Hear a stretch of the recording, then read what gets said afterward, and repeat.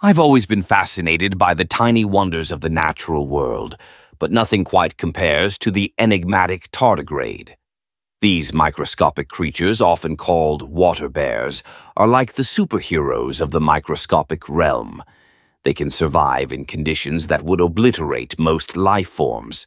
Imagine being able to withstand extreme temperatures, from nearly absolute zero to over 300 degrees Fahrenheit. Tardigrades can do just that. What's their secret? It all comes down to a remarkable ability called cryptobiosis. When faced with harsh environments like extreme heat, cold, or even radiation, tardigrades can essentially shut down their metabolism and dry out. They lose almost all their water content and curl up into a ball, entering a state where they can survive for decades, even centuries. It's like hitting the pause button on life itself. But it's not just about surviving the heat or the cold. Tardigrades can endure the vacuum of space. Yes, you heard that right.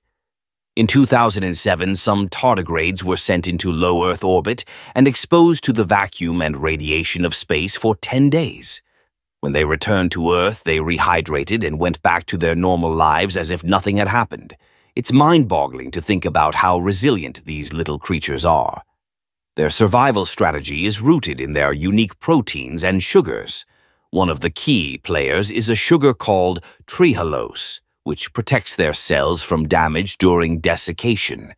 This sugar helps to stabilize proteins and membranes, allowing them to withstand extreme conditions.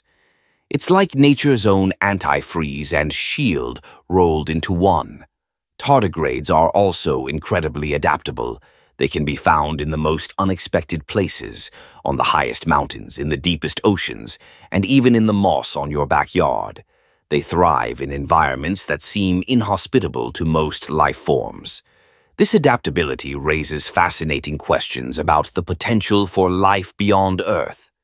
If tardigrades can survive the vacuum of space, could there be other life forms out there that are just as resilient?